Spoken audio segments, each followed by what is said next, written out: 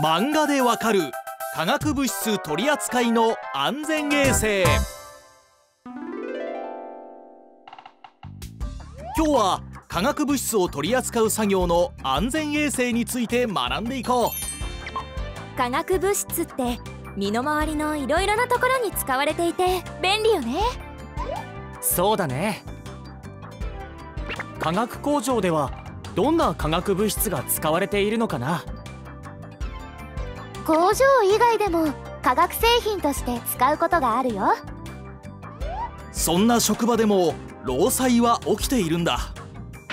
ええー、じゃあ化学物質に起因する労災の主な原因を見てみよう。有害物や引火性のものが多いんだね。そうなんだ。まず有害物に起因する事故は大きく急性中毒と慢性中毒に分けられる。急性中毒は吸い込んで気分が悪くなる。意識が遠くなる。や目や皮膚に触れて薬症を起こす。などの症状が起きることだ。化学物質を長い時間取り扱って慢性中毒になるとすぐに影響が出なくても将来的に肝臓などに悪影響を与えたりがんになったりすることもあるんだ。どうしたら防ぐことができるのでしょうか？安全を確保するためには作業現場のルールを守ることが大切だ。例えばどんなルールがありますか？保護具を着用することはもちろんまず SDS をよく確認して取り扱う時のルールをしっかり守ることが大事だよ。SDS って文字ばかりで読むのが面倒だな。要は保護具をつけておけばいいんでしょ？自分だけじゃなく周囲の人が事故に遭わないためにもルールを守る必要があるんだぞ。は はい！次に爆発や火災。化学物質によっては燃えたり爆発したりすることがあるんだ。爆発や火災で作業者がやけどをしたり建物や工場の火災などの大きな被害につながることもあるから注意が必要だよ。大怪我や火災で働けなくなると家族も心配するし収入面でも困るわ。だからこそ普段からの備えが大切まず SDS を見て化学物質にどのような性質があるか緊急時にどうしたらよいかを事前に把握しておこう。あとは消火方法をしっかり確認しておくことも重要だよ。爆発や火災ってどんな時に起こるんですか？例えば溶剤への引火。火花やタバコの火など目に見える着火源はもちろん目に見えない静電気が原因で溶剤に引火してそのまま爆発炎症につながるケースも多い。なるほど。それじゃあ実際の現場を見てみよう。ケース1よし。そろそろ溶剤の準備をしておこう。倉庫から持ってきてくれ。はいあったあった。よいしょっと。うわうわまったく。溶剤がこぼれた時周りに火元があったら引火する恐れもあるんだぞ。ほらラベルのここに危険性や取り扱い方法について書いてあるだろう。あと運ぶ時には蓋がしっかり閉まっているか確認しような。はい気をつけます。昼休みだ休憩入れ。はい。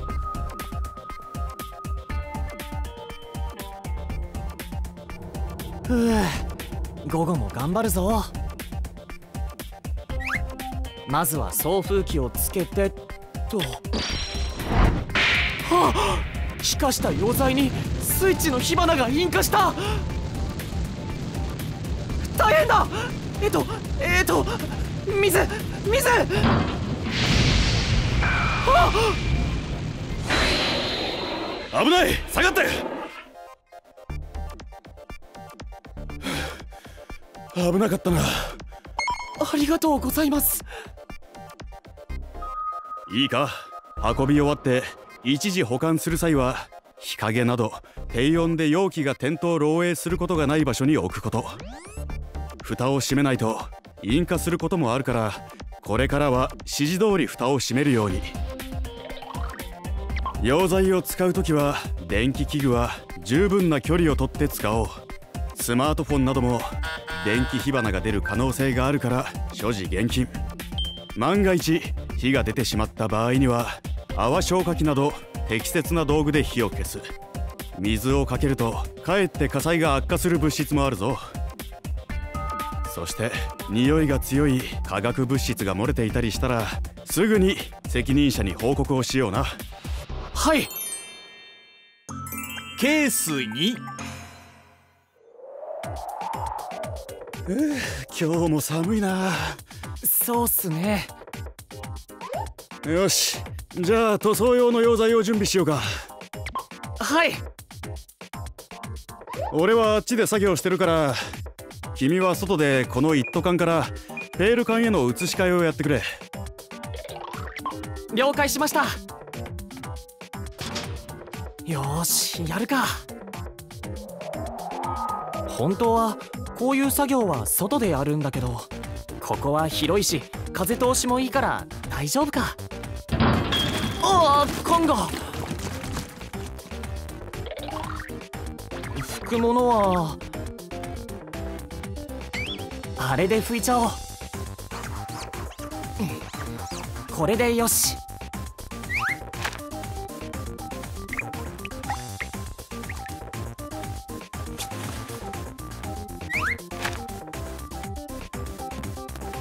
終わったか？はいじゃあ休憩取っていいぞ。ありがとうございます。あゴミ捨てないと。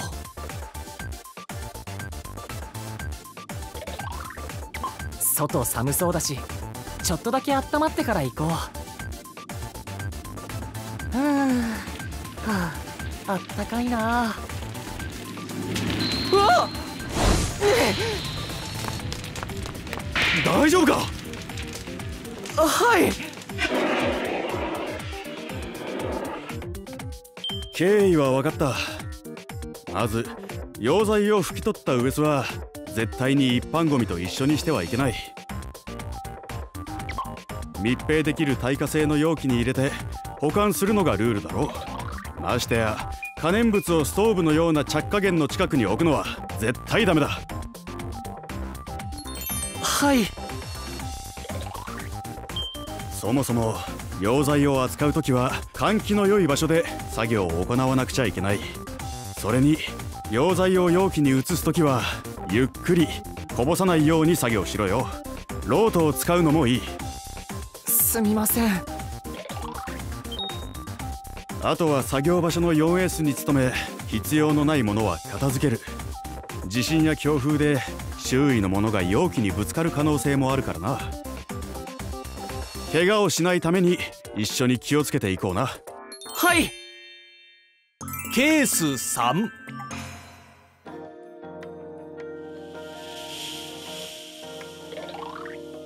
お疲れってどうしたの？ムスッとして。お疲れ様。最近調子悪くてさ。そういえば他のやつも言ってたぞ。最近君がイライラしてるって。遊びすぎじゃないか？遊んでなんかねえよ。最近食欲もないし疲れやすいし注意力も集中力も落ちちゃって。はあ。ほらこの部屋暑いからじゃないか？しかも部屋全体にうっすらと有機溶剤の匂いがするし。冷房はちゃんと当たってるよ原因はわからないんだけど仕事でもミスが多いしそれでまたイライラして最悪だよ。そっか。それは辛いな。そうだ。もしかしたら有機溶剤が原因じゃないか。前にも君と同じ部署に似たような症状の人がいたし。産業医がいるからすぐ相談してみたらどうだ？ああそうするよ。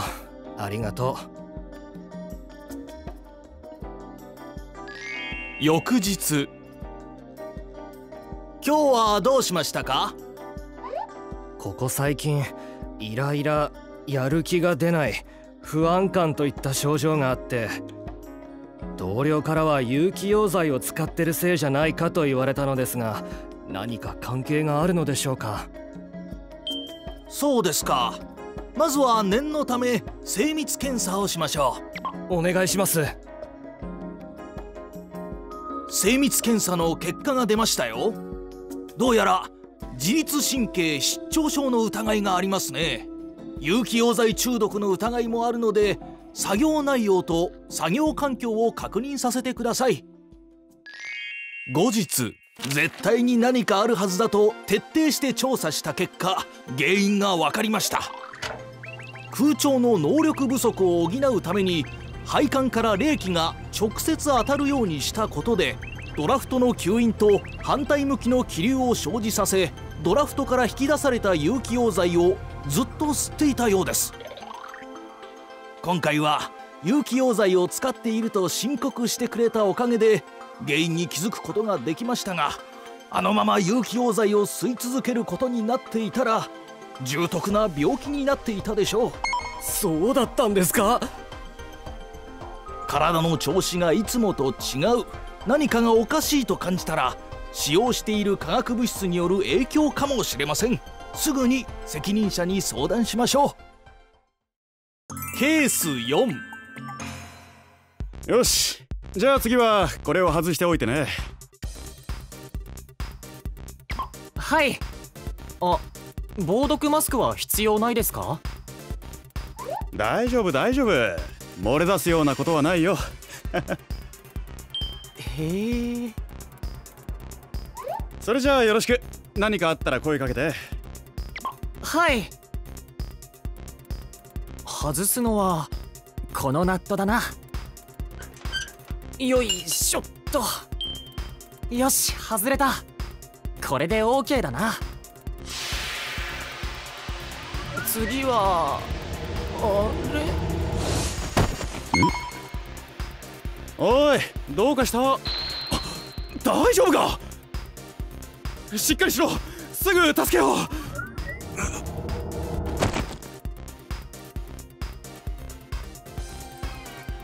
う。ん？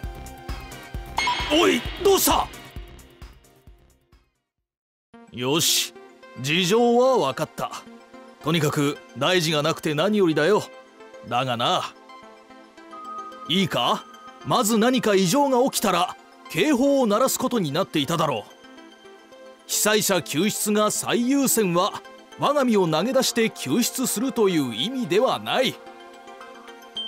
しかるべき装具をつけた者が救出する。つけていなければ第一に逃げて警報を鳴らす。また大声で周囲の人に状況を伝えよう。たまたま通りかかったから良かったものの場合によっては命が危なかったんだぞ。あとはいくら後輩を助けるためでも自分も事故に巻き込まれては意味がない。救出しなければという感情に任せて行動してはいかんな。緊急時に冷静な対応を取ることは簡単ではない。だからこそ日頃から緊急時に備えることが重要なんだ。緊急時の避難経路災害発見時の初動被災者救出時の注意点救出後の対応方法などを確認しておこう。過去の経験や勘に頼らずに会社独自の緊急時対応マニュアルや SDS 第4項応急措置第5項火災時の措置第6項漏出時の措置をもう一度読み緊急時の行動対処法を具体的にイメージし皆で共有しておこう。はい。はいあちゃー。危危険は意外と身近にあるってことがよく分かっただろう。登場人物のドジなところが誰かに似てたね。ん？何か言った？職場の安全衛生には一人一人の意識とルールを守ることが大事。ここでもう一度ケーススタディを振り返ってみよう。化学物質取り扱いで気をつけたいポイント。1引火性可燃性の物質は適切に管理。運搬保管する際は必ず蓋をしましょう。使用後は適切に処理しましょう。思わぬ事故につながることもあります。2心配なこと。普段と違うことがあったらすぐに相談。化学物質に暴露すると健康を害する恐れがあります。体調不良を感じたらすぐに責任者に相談しましょう。3衝動的な行動はしない。むやみな救助は自分も事故に巻き込まれる危険があります。緊急時に備えルールを確認しておきましょう。労災は決して他人事ではなく身近な問題だ。ルールを守ることは体家族生活を守ることだと覚えておいてほしい。何かあった時のために日頃から職場でのコミュニケーションも大切よ。よし。ルールを守って毎日頑張るぞ。化学物質取り扱いこんなことにも注意しよう。安全健康のためのヒント。1可燃物の近くは火気厳禁。火花による引火にも注意しましょう2作業手順を守ろう。手順を誤ると重大な事故につながることもあります。3保護具はルール通りに着用しよう。保護具が必要な作業では事故を防ぐため保護具を確実に着用しましょう。4有害物が付着したらすぐに洗い流そう。こまめに手を洗う。作業台を拭くなどの習慣をつけることも忘れずに。イラストで学ぶ職場の作業の中に潜む危険を知ろう。どこが危険か考えてみよう。ここが危険のポイント。1局所排気装置を用いて作業を行う。2火を使う際には引火の危険がないか確認する。他にも危険なポイントがないか考えてみましょう。